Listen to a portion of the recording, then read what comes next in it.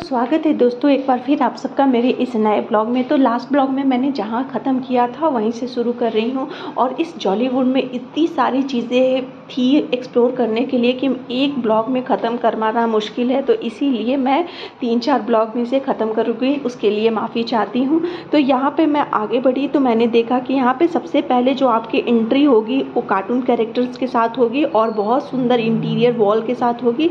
और यहाँ पर पूरा फिल्मी सेटअप किया हुआ है बहुत सारे सेलिब्रिटीज़ का पूरा वॉल पे पेंटिंग किया गया है, जिससे बहुत अच्छा पिक्चर्स आते हैं। आप फ़ोटो परफेक्ट है यहाँ पे जगह। और सबसे पहले फिर उसके राइट साइड में है बच्चों के प्लेइंग वाले एरिया तो प्रियांश तो एकदम पूरा एक्साइटेड हो गया था, उसे यहीं जाना था और सब चीज़ बहुत परफेक्ट की गई है। फ़ोटोजेनिक है सब कुछ। तो आप कहीं भी फ़ोटो खिंचाएँगे तो बहुत अच्छा लगेगा। तो यहाँ में हम लोग जैसे बच्चों के प्लेइंग वाला एरिया में घुसे तो मैंने सोचा कि पहले प्रियांश को खिलवा देती हूँ, थोड़ा हो जाएगा तो फिर हम लोग भी अपना एक्सप्लोर करेंगे। तो प्रियांश, इतनी सारी चीज़ें थी कि पहले प्रियांश इंट्री के साथ बहुत कंफ्यूज हो गया कि उसे करना क्या है। क्या जैसे कि यहाँ बॉल पूल था स्लाइड्स था जंपिंग था और ये फिर एयर वाले बैग्स के ऊपर जंपिंग था तो बहुत सारा चीज़ था तो उसने फिर भी किसी तरह से स्टार्ट किया।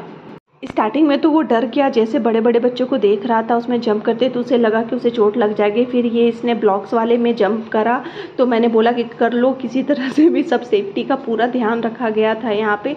तो प्रयास थोड़ा थोड़ा जो इन्जॉय करना जो था, वो स्टार्ट कर चुका था। अब धीरे धीरे सब कुछ एक्सप्लोर कर रहा था, एक जगह पर थोड़े टाइम के लिए रुक रहा था। फिर हम दोनों, ऐसे हस्बैंड एंड वाइफ दोनों घूम रहे थे। हम लोग को कुछ करने को नहीं मिल रहा था, प्रियांश तो पूरा बिज़ी हो गया था। लेकिन हम लोग देख रहे थे यहाँ क्या कर सकते हैं, ऐसा कुछ नहीं है कि यहाँ पेरेंट्स नहीं आ सकते हैं। सारी चीज़ें ऐसी हैं कि आप बचपन अपना फिर से इंजॉय कर सकते हैं। आप फिर से बच्चा बन के आप भी इसमें पूरा राउंड ले सकते हैं और कोई भी झूले पर जा सकते हैं। तो प्रियांश, लेकिन इतनी ज़्यादा भीड़ थी कि हमें प्रियांश के ऊपर भी ध्यान रखना बहुत ज़रूरी लग रहा था कि खो जाएगा तो काफ़ी टाइम लग जाएगा और वो प्रियांश बहुत डर जाएगा। तो ये स्लाइड्स था तो प्रियांश अपने गेमिंग जोन में घुस गया था और हम लोग अंदर घुस गया था तो हम लोग को तो अंदर जाने में थोड़ा सा सोचना पड़ रहा था कि बड़े बच्चे जाएँगे तो कैसा लगेगा। तो इसीलिए हम लोगों ने अवॉइड किया। तो इधर थी एंट्री और ये मैंने ऐसे मॉल वॉल में होते हैं, ये सब चीज़ें मैं प्रियांश को लेके जाती हूँ। लेकिन इतना ह्यूज बड़ा नहीं रहता है। फिर उसके बाद हम हम हस्बैंड भी थोड़ी थोड़ी मस्ती कर रहे थे। अच्छा लग रहा था। हम लोगों ने टायर वाले झूले पे एक झूला ऐसा नहीं है कि कोई बस ही बच्चे कर रहे थे, सारे बड़े भी कर रहे थे। तो हम लोगों ने भी थोड़ा सा इंजॉय कर लिया अपना बचपन, क्योंकि प्रियांश तो अब हाथ आने वाला नहीं था। तो हम लोग बोर होने से अच्छा था कि हमें लगा कि थोड़ा सा कर लेते हैं। अभी तो टाइम है। हमारे पास पूरा दिन था। हमारे पास हम लोग बस एंट्री टाइम में आधे घंटे ही लेट हुए थे। तो हम लोग पूरा दिन एक्सप्लोर कर सकते थे। तो स्टार्ट ऐसे हुआ। सब बड़े बच्चे, छोटे बच्चे सब इंजॉय कर रहे थे। और प्रियांश तो हाथ नहीं आ रहा था उसे। ये वाला चीज़ बहुत पसंद है।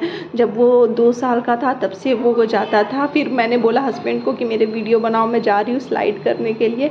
फिर मैं चली गई स्लाइड करने के लिए। मैंने भी इंटरव्यू बहुत सारे लोग बड़े बड़े बच्चे जा रहे थे। ये देखिए, बच्चों को हटा के सब मम्मियों ने कब्जा कर लिया था।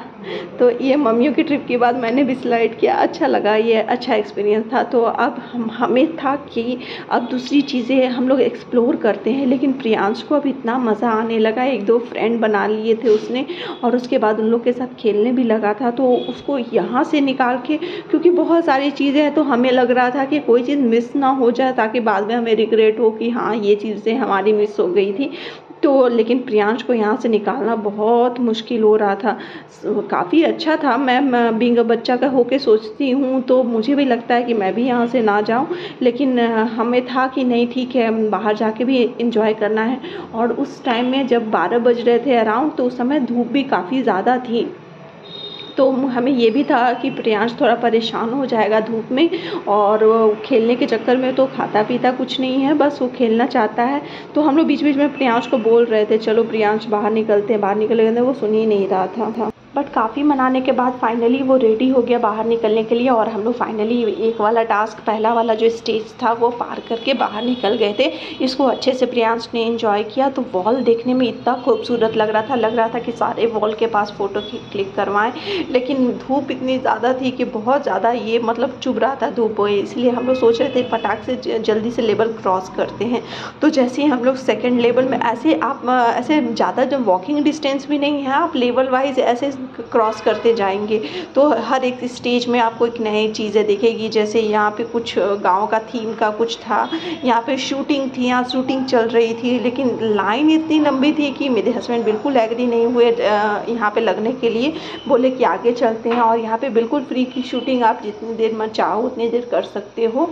शूटिंग चल रही थी और ये सब चीज़ आर्चरीज़ में अच्छा लगता है। मेरे हस्बैंड को भी करना था बट भीड़ की वजह से उन्होंने अवॉइड किया। उसके बाद यहाँ फिर से आपको नेक्स्ट स्टेज में फिर से ये वॉल वाला चीज़ मिलता है, जहाँ पे बहुत अच्छे पिक्चर्स आते हैं। यहाँ पे थ्री डी इफ़ेक्ट के साथ आपको बहुत अच्छे पिक्चर्स आएँगे। तो यहाँ हस्बैंड सोचा कि नहीं, एक दो पिक्चर यहाँ बनती है, क्योंकि बहुत अच्छा देखने में वॉल वॉल लग रहा था। और यहीं पर आपको शाम में, अगर लास्ट में एंड में यहाँ सर्कस का शो दिखाया जाता है। तो अभी तो नहीं कुछ था, अभी सारी चीज़ें इधर वाली बंद थी, वो शाम में खुलेगी। तो फिर भी हस्बैंड ने दो चार पिक्स क्लिक करवाएँ और फिर नेक्स्ट स्टेज में वो रिबन से सजा हुआ एक आपको रूफ मिलेगा जो बहुत सुंदर है और यहाँ पे कुछ गेम्स चल रहा था जो पेड था। आप ऐसे इसको खेल नहीं सकते मतलब पैसे आपको पे करने पड़ेंगे। आगे की चीज़ें मैं नेक्स्ट ब्लॉग में बताऊँगी। तब तक के लिए बाय बाय